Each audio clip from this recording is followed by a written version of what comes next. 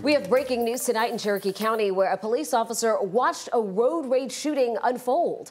A Woodstock police officer came across the scene near Highway 92 tonight. The victim was shot twice here. We're told that person is recovering in the hospital. The officer was reportedly able to pull over the shooter and make an arrest.